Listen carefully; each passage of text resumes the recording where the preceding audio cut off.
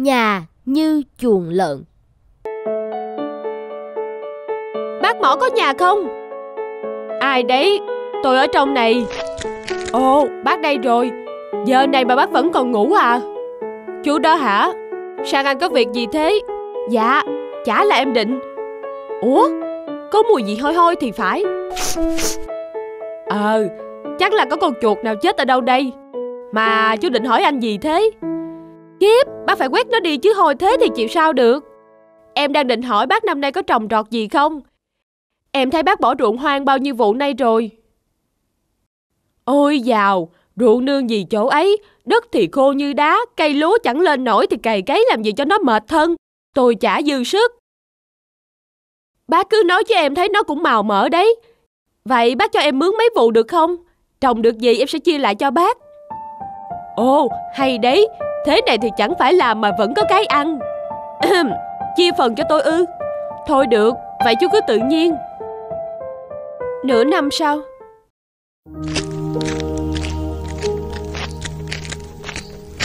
Đây là cái gì? Dạ, đây là ít hoa lợi em mang sang cho bác. Em biết trồng lúa không được nên chuyển sang trồng vừng.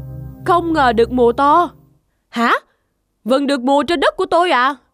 Không ngờ đấy. Vâng, em tính vụ tới lại trồng tiếp vừng nên đã cày kỹ và lên luống cả rồi. Nó mang cho mình thế này chứng tỏ nó còn thu được nhiều gấp bội.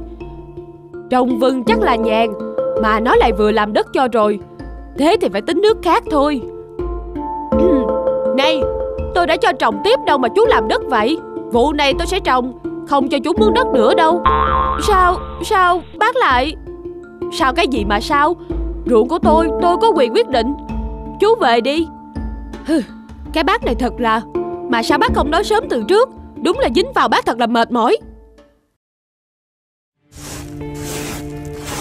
Chà chà, thơm quá Sao rang lên nó lại thơm thế nhỉ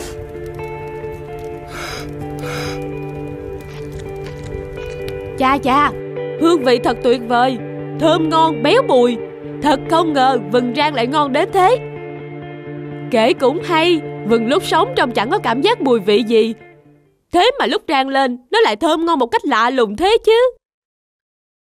À, phải rồi, mình sẽ rang hết chỗ vừng kia lên, sau đó đem gieo trồng. Nó mọc lên chắc chắn phải có hương vị thơm ngon như thế. Hay, hay, sáng kiến, đúng là sáng kiến tuyệt vời.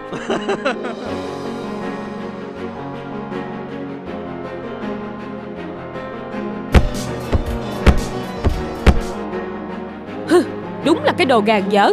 Thật khó chịu. Mất bao nhiêu công sức của mình Bây giờ lại ra gieo trồng gì đấy không biết. Thế là xong. Cuối cùng cũng gieo hết bao vừng. Cha cha, Đến lúc thu hoạch thì sướng phải biết. Mấy ngày rồi sao chưa thấy gì nhỉ? Quái lạ Sao vườn nhà mình vẫn chưa nảy mầm? Chắc là hạt vườn rang nảy mầm muộn hơn. Cứ chờ thêm vậy.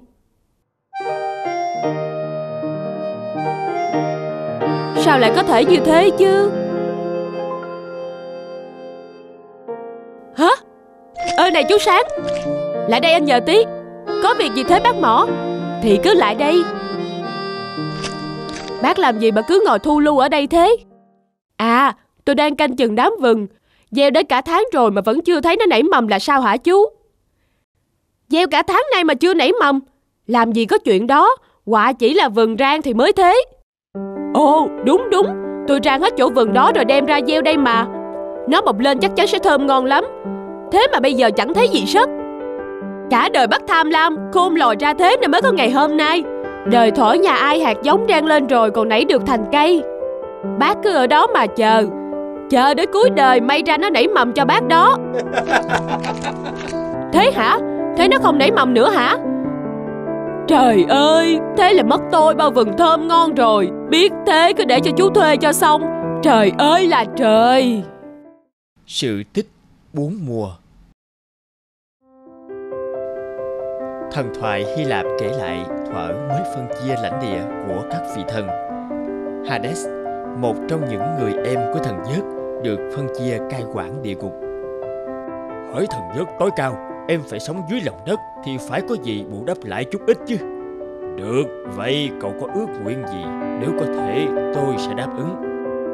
Dạ thưa, cũng chẳng có gì lớn lao. Em chỉ muốn có một cô vợ để đỡ buồn. Được, ta đồng ý. Chuyện này cũng hợp tình, hợp lý. Dạ, vậy là anh đã thuận tình. Người em muốn kết tóc xe duyên là nữ thần của mùa màng và thực vật nàng Persephone xinh đẹp. Cái gì là con gái của thần nông nghiệp Demeter? Cậu cũng thừa biết bãi vô cùng yêu con. Persephone còn nguyện làm trinh nữ suốt đời bên mẹ. Vâng, em biết chứ, nhưng được nghe lời anh hứa tác thành là em yên tâm rồi. Ờ, ta nào đã hứa tác thành thì anh chẳng đã đồng ý việc em muốn có một người vợ và trong mắt em thì ờ, chỉ có nàng Persephone. Trước đề nghị của cậu em trai hẩm hiu phải sống dưới địa ngục, thần giớt vô cùng khó xử.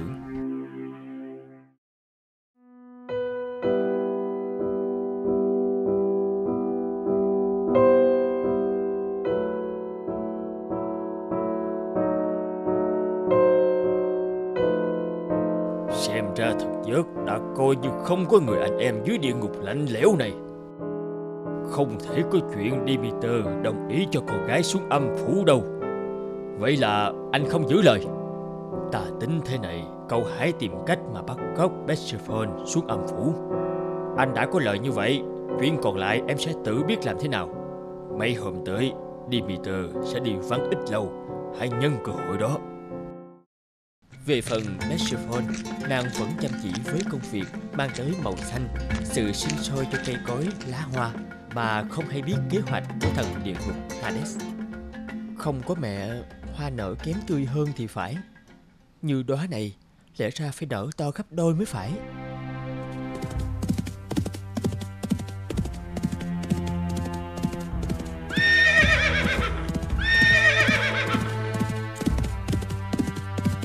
Ông, ông là ai?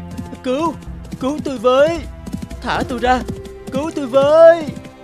Nàng không thể thoát khỏi ta đâu. Hãy bằng lòng làm vợ ta Nàng sẽ trở thành nữ hoàng của địa ngục. Không đời nào, cứu tôi với Có ai không? Chỉ có ta thôi hỡi Persephone. Nàng đừng cứng đầu nữa. Mặt Hades tìm mọi cách thuyết phục. Persephone vẫn nhốt mình trong phòng kín Không ăn uống bất kỳ thứ gì Mẹ ơi, mẹ mau đến cứu con Con không thể sống ở đây được. Persephone con ở đâu? Sao lại đến nông nỗi này? Hoa cỏ đã tàn lụi hết Con bé không còn trên trái đất nữa rồi. Dù là cùng trời cuối đất Mẹ nhất định sẽ tìm được con. Vắng Persephone Cây cối ruộng đồng trên mặt đất Bắt đầu héo úa. Bất chấp cái nắng thiêu đốt Thần Demeter đã tìm đến thần mặt trời Vị thần duy nhất có thể thấy hết mọi chuyện trên trái đất Vì nể bà lắm tôi sẽ nói Nhưng xin bà cũng đừng đã động tới uh, thần giớt Sao? Chuyện này có liên quan đến thần giớt ư? Đúng thế Thần địa ngục Hades Nhờ có thần giớt bật đèn xanh Đã bắt cóc Persephone xuống âm phủ làm vợ rồi Có chuyện tài đình như thế ư? Xin bà hết sức bình tĩnh, kẻo liên lụy đến cả tôi nữa đấy. Thần yên tâm, tôi có cách của mình. Cùng với sự biến mất của Persephone, không hoa cỏ, cây trái nào mọc, Demeter cũng lập tức cho nạn đói hoành hành, lúa không trổ bông, cây không ra trái. Demeter đã công khai đối đầu với ta rồi, cứ thế này loài người sẽ diệt vong mất. Ngươi hãy xuống âm phủ đón Persephone về cho ta, hãy tìm cách thuyết phục Hades thần sẽ dốc hết sức. Loài người diệt vong hết vì đói khát thì sẽ xuống hết địa ngục của ta hả? Đúng thế thưa ngài. Địa ngục thế thì hết chỗ chen chân hả? Thôi được rồi, người cứ ra cổng đợi đi. Persephone sẽ ra ngay. Ông không lừa tôi đấy chứ? Không hề. Hãy ăn trái lựu này đi mà lấy sức vượt qua con đường địa ngục của ta. Mấy tháng này nàng đã không ăn gì rồi. Persephone sung sướng ăn trái lựu mà không hay biết ăn thức ăn của địa ngục thì sẽ phải trở lại địa ngục. Nhờ có Persephone mà mặt đất bắt đầu xanh trở lại, Demeter cũng làm phép cho mùa màng không bị thất bát nữa. Ngươi đã ăn trái lựu là thức ăn của âm phủ, nên không thể ở mặt đất mãi. Sau sáu tháng, ngươi không quay lại địa ngục thì cũng sẽ héo mòn. Trên mặt đất tuyết bắt đầu rơi Demeter buồn bã nhìn theo bóng con khuất dần.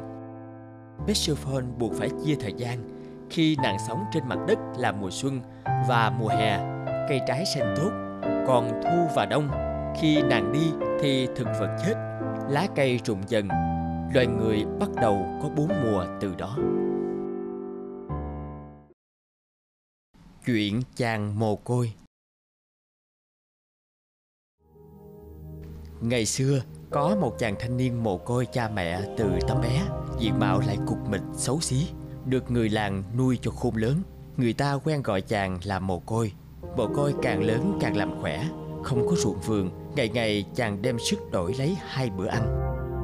Anh mồ côi, anh làm việc từ sáng sớm tới đêm khuya, chắc là anh đói rồi, anh ăn đi. Chàng nghỉ ngơi, uống nước đã, kẻo mệt. Thằng mồ côi vừa xấu xí vừa nghèo khổ thế mà con gái làng mình, ai cũng quý mến nó. Đã thế, mình tìm cách đuổi nó khỏi làng cho bỏ tức. Vì ghen tức với mồ côi mà trai làng tìm cách đánh đập chàng. Không còn cách nào khác, mồ côi đành bỏ làng ra đi. Chàng tới một ngôi làng khác, xin làm thuê để kiếm sống. Người muốn xin làm thuê sao? Để ta nghĩ xem Ngươi có thể làm được gì. Tuy à, nó hơi xấu xí, Nhưng trông khá khỏe mạnh. Hẳn là nó có đủ sức hái cho ta cả một rừng trám. Ngươi hãy hái hết 200 cây trám cho ta Ta sẽ trả cho ngươi 500 lạng bạc.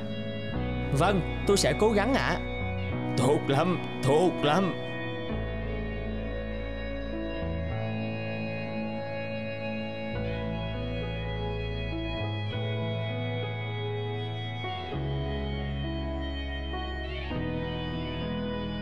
Hôm nay nhờ có thằng mồ côi Mà ngày nào mình cũng bán hàng xe bò trám Chúng ta giàu to rồi. À, Phải Tôi đã nói là nó rất khỏe lại chăm chỉ mà. Nhưng mà nó sắp hái hết 200 cây trám rồi Không lẽ mình phải trả nó 500 lạng bạc tiền công cho nó sao? Làm gì có chuyện đó Tôi đã tính cả rồi. Đây là cây trám cuối cùng rồi. Phải rồi Cây trám thứ 200 Người cứ hái nốt cây trám này, Ta sẽ trả cho người 500 lạng bạc như đã nói. Cảm ơn phú ông.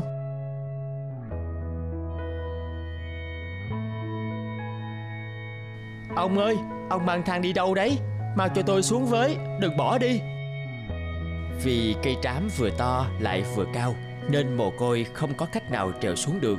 Chàng ngồi trên cây bao nhiêu ngày Mà không được ăn, Khiến bụng đói lạ, Cơ thể mệt mỏi, Không còn sức sống cho tới một hôm. Ờ, Ông, ông là ai ạ? Ta là thần núi Ta tới đây để giúp con. Con là một chàng trai chăm chỉ Hiền lành nên ta giúp Ta sẽ cho con thứ này. Ta cho con một chiếc rìu Để có thể chặt củi kiếm sống. Còn hai viên thuốc này Một viên uống vào sẽ khỏe mạnh một viên uống vào sẽ trở nên khôi ngô, tuấn tú. Còn đa tạ thần núi.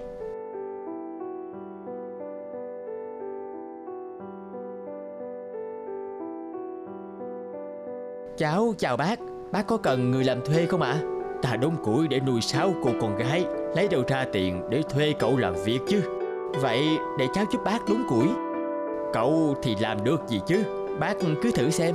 Trông vậy nhưng cháu rất khỏe đấy ạ. à. Ừ, vậy cậu giúp tôi đốn củi xem nào. Đây là viên thuốc giúp mình có sức khỏe. Mình sẽ uống xem sao.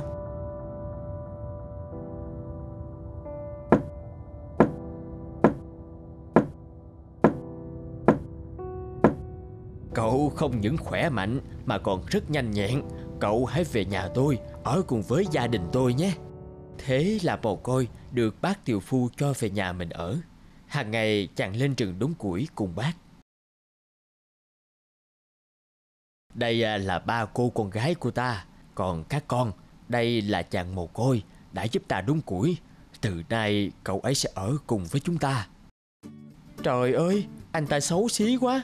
Sao có thể cho một người xấu xí như vậy Ở chung nhà cơ chứ? Chúng con không thích anh ta ăn cơm cùng đâu ạ. À.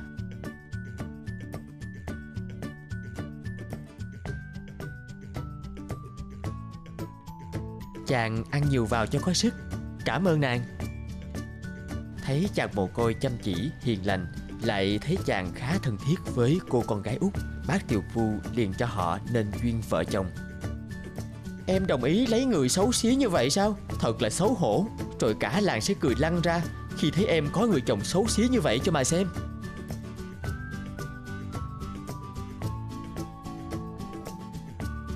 Thần núi cho ta viên thuốc này dặn là uống vào sẽ trở nên khôi ngô ta sẽ thử xem sao vậy là lễ cưới của chàng mồ côi và cô con gái út nhà bác tiều phu trong sự ngạc nhiên và ghen tị của hai cô chị nhờ chăm chỉ và có một sức khỏe phi thường chàng mồ côi nhanh chóng có của ăn của để và họ sống hạnh phúc bên nhau mãi mãi Hãy like, comment, subscribe kênh để xem thêm những video mới nhất nhé!